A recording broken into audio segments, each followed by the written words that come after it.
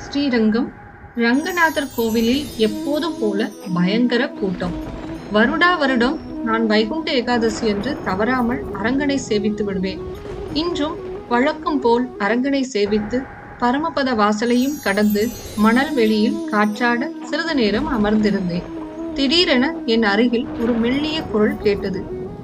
அதான் சொர்க்க வாசலை இப்ப தாண்டியாச்சுல்ல? சரி இப்பவே என்னோட வா. போகலாம். குரல் வந்த திசையில் பார்த்தால் சாட்சாத் அரங்கநாதரை கம்பீரமாக கள்ளச் சிரிப்போடு நின்று கொண்டிருந்தார். எங்கே என்னை கூப்பிடுகிறீர்கள் பெருமாளே? சொர்க்கத்துக்கு? அங்கே போகணும் தானே இவ்வளவு நேரம் வரிசையில நின்னு கும்பல்ல முட்டி மோதி முன்னால வந்த? அங்கதான் உன்னை நான் அழைக்கிறேன். என்னுடன் இப்பவே வா. விளையாடாதே ரங்கா. எனக்கு குடும்பம் இருக்கு பிள்ளைங்க இருக்காங்க. எனக்குன்னு சில பொறுப்புகளும் இருக்கு. திடீர்னு இப்படி என்னை கூப்பிட்டா நான் இல்லாம அவங்க என்ன பண்ணுவாங்க சொல்லு? இந்த உலகத்தையே பாத்துக்கிறவனா உன் குடும்பத்தை நல்ல விதமா பாத்துக்க மாட்டேனா? எனக்குன்னு நிறைய கடமைகள் இருக்குறங்கா. நீ தானே சொல்லி இருக்க கடமையை ஒழுங்கா செய்யணும் அப்புறம் நீயே இப்படி சொன்னா எப்படி? அப்போ உன் கடமையை செய்யாம எதுக்கு சொர்க்கத்துக்கு போகணும்னு இங்க வந்து என்ன கேட்ட? சாக வேண்டாம் ஆனா சொர்க்கம் மட்டும் வேணும்னா அது எப்படி? அப்போ உன் பக்தி பொய்யானதா? நீ பக்தியோட கேட்ட அதுவும் வருஷா வருஷம். அதான் உன் பக்தியை மெச்சி நானும் உன்னிடம் இப்போ வந்தேன். இப்போ என்னிடம் சாக்கு போக்கு சொல்லாத. வா போலாம். நான் பக்தியோடு உன்னிடம் கேட்டது இன்னைக்கு போறதுக்கு இல்ல. பின்னால வயசானப்புறம் கண்டிப்பா ஒரு நாள் சாகத்தானே போறோம். அதுக்காக. ஓஹோ. அப்போ எப்போ நீ என்கிட்ட வரணுங்கிறத நீ தான் முடிவு பண்ணுவ.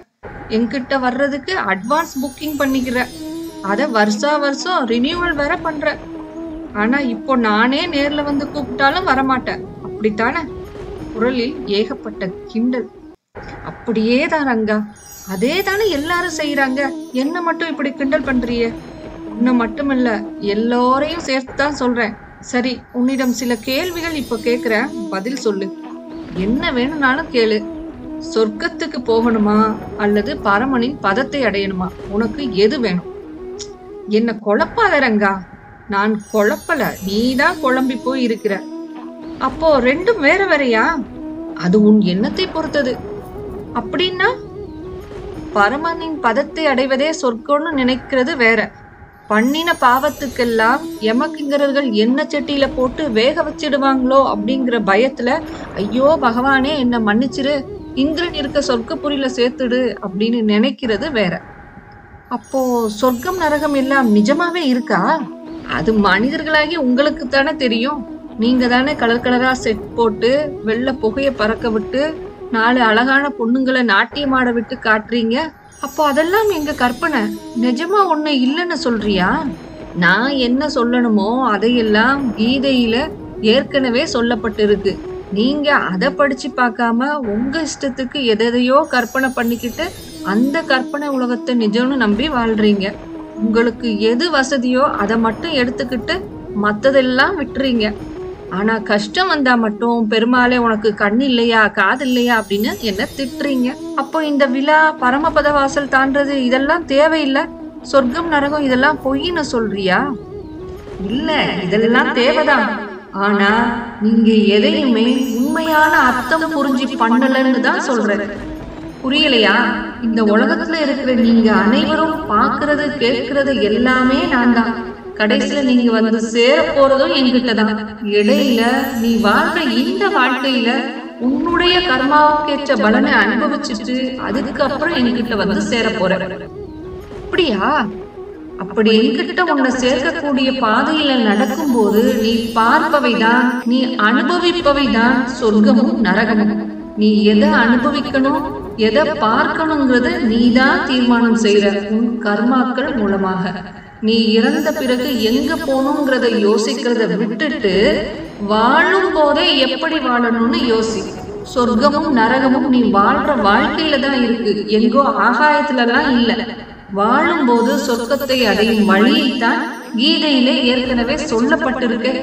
அதை ஆழ்ந்து புரிஞ்சு படி. உன் எல்லா கேள்விகளுக்கும் அதுல விடை உண்டு. அதை ஞாபகப்படுத்ததான் இத்தகைய விழாக்கள். புரிகிறது பெருமானே? கீதையின்படி தர்மத்தை போற்றி கர்மத்தை நிறைவேற்றி வாழ்ந்தால் சொர்க்கம் போன்ற வாழ்வை வாழ்ந்து இறுதியில் என் பதத்தை அடைவாய். உனக்கு நல்வழி காட்ட பல அவதார ரூபங்களிலும் தோன்றினேன். உனக்கு வழி காண்பித்து பரமபத வாசலை முதலில் கடந்து உன்னை வழி நடத்துகிறேன். இதுதான் தத்துவம். அப்படியா? ஆனால் இது புரியாமல் வருடாவரிடம் ஒரு சடங்காக மட்டுமே நீங்கள் இதை செய்கிறீர்கள். பரமபத வாசலை கடக்கும் போது இந்த உண்மையை உணர்ந்து தன் தவறுகளை சரி செய்ய முடிவெடுத்து நான் காண்பித்த வழியை பின்பற்ற முயற்சிகள் எடுத்தவர்கள் எத்தனை பேர்? உண்மைதான். பரமபத வாசலை கடந்தால் பண்ணின தப்பெல்லாம் பெருமாள் மன்னிச்சு சொர்க்கத்துல நம்ம சேர்த்துக்கிடுவாரு என்பது உங்களின் பலரின் குருட்டு நம்பிக்கை. வருடா வருடம் பலருக்கு இது ஒரு சடங்கு. இன்னும் சிலர் ஏகாதசி திருவிழா சமயத்தில் தேவஸ்தான கடையில் போடுற தோசை சூப்பரா இருக்கும். கேசரி புளியாதரை சாப்பிட்டுட்டு அப்படியே சொர்க்க வாசலில் மிதிச்சு வைப்போம். போனா சொர்க்கம் இல்லாட்டி சுவையா தோசையாக கிடைச்சது என்று சந்தோஷிக்கிறார்கள். உண்மையான அர்த்தம் புரிந்து செய்பவர்கள் வெகு சிலரே. முற்றிலும் சரி பெருமானே. இன்று நான் உனக்கு சொன்னேன் நீ போய் சிலருக்கு சொல். நீங்கள் என் குழந்தைகள் நீங்கள் அனைவரும் சரியான வழி நடந்து என்னை வந்தடையும் வரை நான் வழிகாட்டிக் கொண்டுதான் இருப்பேன். உங்கள் கைகளை பிடித்து அழைத்து செல்ல காத்திருக்கிறேன் நல்லபடியாக வந்து சேருங்கள். அரங்கன் அந்த இடத்தை விட்டு அகன்றார். ஆயிரங்கால் மண்டபத்தை கடந்து வெள்ளை கோபுர வாசலை நோக்கி நடந்தேன். அங்கு அரங்கன் அபயகரத்தோடு புன்னகையுடன் பக்தர்களுக்கு அருள் பாலித்துக் கொண்டிருந்தார்.